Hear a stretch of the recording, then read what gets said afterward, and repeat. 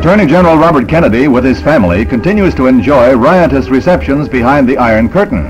In Krakow, the Kennedys are mobbed by a crowd of 15,000 Poles. The government, obviously irked, had thrown a news blackout on his visit.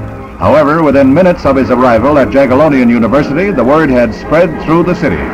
Observers say that Mr. Kennedy didn't take it as a personal triumph, rather as a tribute to the United States and what it stands for. At the historic university with its priceless collections, Mr. Kennedy is shown the Jagiellonian globe, the first geographical representation of the North American continent. There were moments when there was fear for the safety of the Kennedy party. The city police had gone on the presumption that the visit would be ignored. They were ill prepared for this emotional outpouring by the Poles, who feel deep ties to the United States.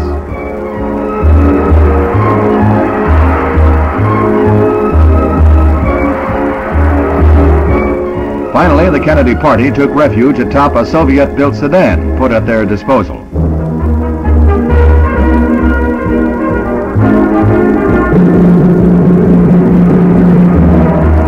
There were demands for autographs and condolences on the death of his brother. All of the Kennedys were besieged. Even his son was kept busy with autographs. Then a tribute at the statue to Thaddeus Kosciuszko, the Polish patriot who fought for the colonies during the American Revolution.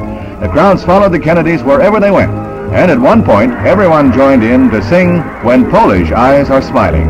For much of the six-hour visit, the Kennedys were stranded on the roof of the sedan and later they said they wouldn't have missed a minute of it.